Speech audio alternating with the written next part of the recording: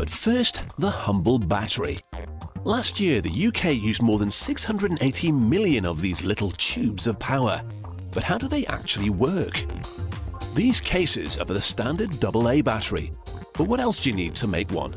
A battery consists of a case, a positive pole, a negative pole, a base plate, and a pin to allow the electricity to flow around the circuit. Hard to believe that a small tube with a sticker on it powers so many household devices. They're used in everything from remote controls to MP3 players. But have you ever wondered how they work? We've established batteries have a positive and negative pole. The negative pole is full of electrons which are all trying to escape.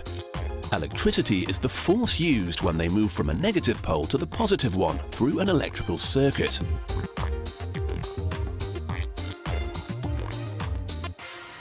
The materials used to make the positive pole are manganese dioxide and graphite. You might be familiar with graphite as it's used to make the pencil. The positively charged mixture works by absorbing electrons that pass into it. It gets pressed into rings which are then inserted into each battery case. The more that can be put into each battery, the longer that battery will last.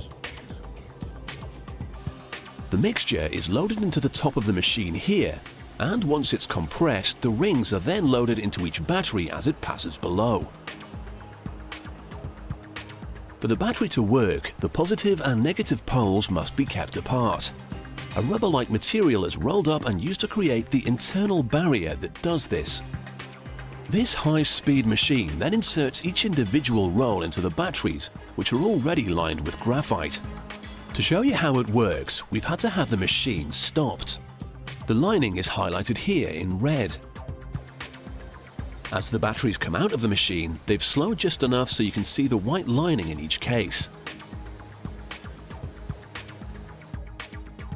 Like yin and yang, a battery is made up of two opposites, they have both a positive pole and a negative one.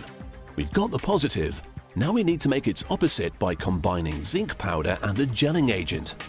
The mix is very toxic though, so a machine is used to minimize human contact. The combination creates this gloopy substance which is a negatively charged gel. Once it's fully combined, this is added into the lining in the battery cases. We've now got the two sides to the battery, but to make them work, the electricity needs to get from one side to the other. If the electrons can't travel between the poles, the battery won't power your remote. So to get round this problem, the clever guys at the battery factory have come up with a solution. That's where these base plates come in. Although it's normally used for the road surface, each plate is loaded with a squirt of bitumen. It makes an excellent glue. Brass pins are then introduced and this is the secret to how the electrons can get out. They travel down through this pin and into your remote or any of the hundreds of devices that are powered by batteries today. You can now use them to help you switch channels, light up your torch or power your MP3 player. When their job is done, they'll head back through the wires into the positive pole in the battery.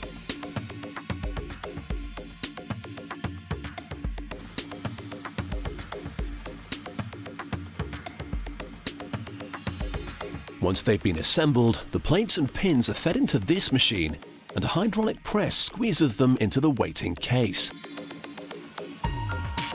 They're now complete, although at this stage they don't look like the batteries you would recognize.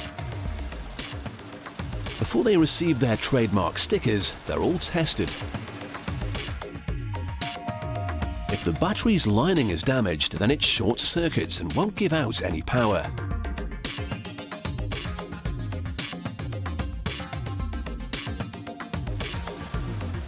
This machine tests each one and removes any of the faulty ones, so you're not left frustrated and powerless.